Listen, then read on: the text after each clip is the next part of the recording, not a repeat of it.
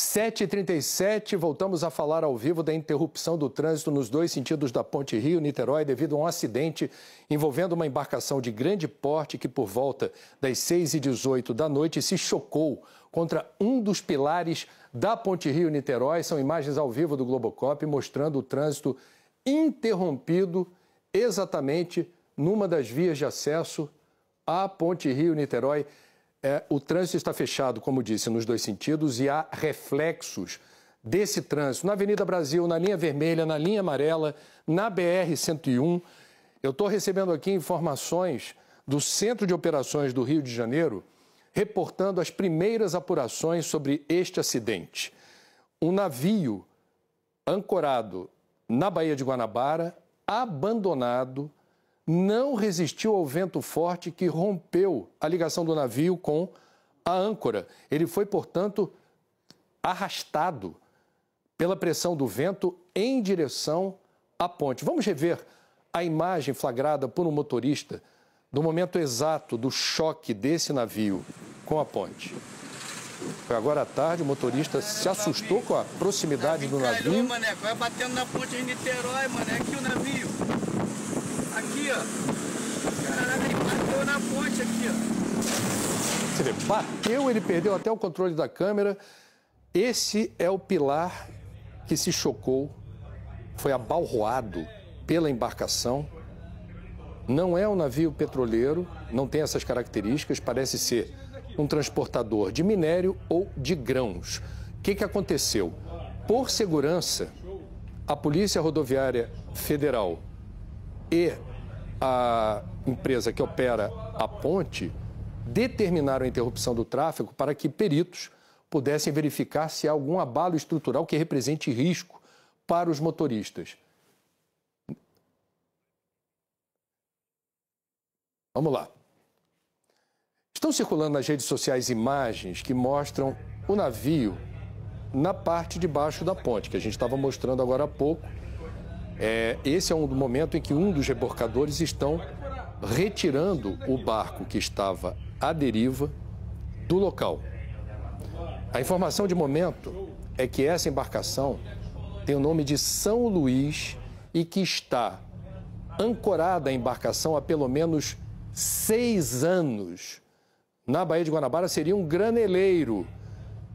Eu dei essa opinião aqui. De fato, é um transportador de grãos. É inacreditável que na Baía de Guanabara um navio esteja ancorado por seis anos, abandonado provavelmente em condições é, não adequadas de ancoragem, porque um vento forte não deveria ter o poder de romper a ligação do navio com a âncora e puxá-lo até a ponte. Haverá responsáveis. É bom que essa empresa esteja no seguro, porque isso é, prejudicou e está prejudicando demais as rotinas da cidade do Rio de Janeiro e de Niterói e da região metropolitana.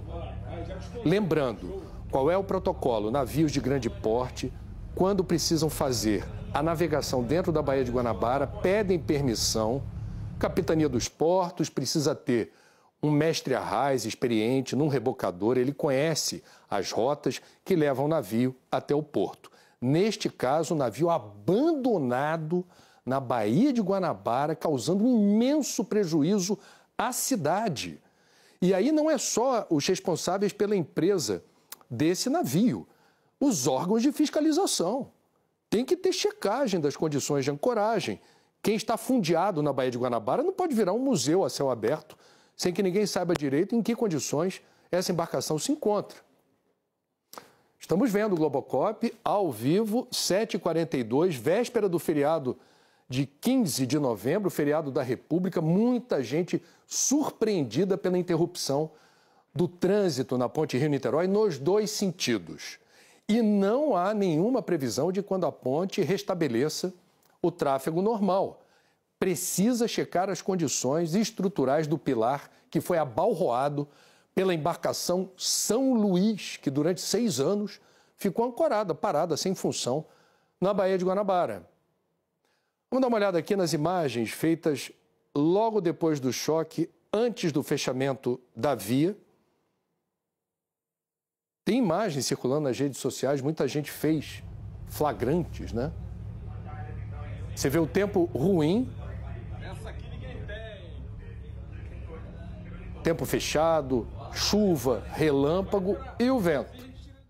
E este trambolho, me permitam dizer, ele não deveria estar à deriva, há responsáveis e os órgãos de fiscalização precisam responder por que, que este acidente aconteceu.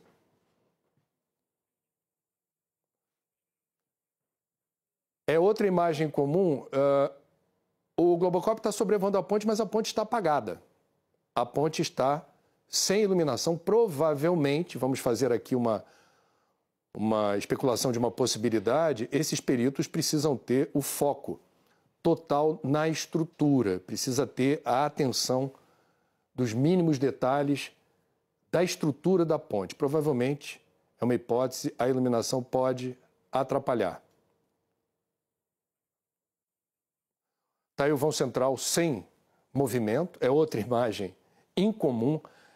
A ponte foi inaugurada em 1974, sempre teve um movimento intenso e crescente. Véspera do feriado do dia 15, obviamente, não é a imagem que combina com esse momento. Temos agora a confirmação de que o navio São Luís, responsável por esse acidente, foi retirado das proximidades da ponte. Ele não está mais por perto. Agora, dos dois lados da Baía de Guanabara, todas as artérias, todas as vias importantes que fazem a conexão com a ponte da Rio-Niterói estão colapsados. Você vê quantos navios fundeados na Bahia? Essa é uma questão antiga. Precisa ter um inventário dessas embarcações o que, que elas estão fazendo aí é, e que riscos elas representam, não só em relação a ficar à deriva, mas vazamento de óleo, é, pode afundar por corrosão ou qualquer outro problema. É impressionante. Aí você vê os dois rebocadores que estão encarregados de fazer o transporte, empurrar o navio São Luís, é esse daí, ó para fora da ponte. Essa embarcação responsável pela interrupção do tráfego nos dois sentidos da ponte Rio-Niterói, aqueles dois rebocadores afastam o São Luís da ponte. Outra imagem, olha que impressionante, quantos, quantas embarcações. Voltamos a ver o momento aqui que foi filmado dessa embarcação colada ali, ó, no pilar. Foi uma pancada fortíssima. Os vídeos que estão circulando nas redes sociais mostram que a ponte tremeu. Não foi trivial. Durante a programação, nós vamos voltar com outras informações sobre a interrupção da ponte Rio-Niterói nos dois sentidos por causa desse acidente. O RJ2 termina aqui. Apesar de tudo isso, eu desejo a você um ótimo feriado de 15 de novembro. Até a próxima.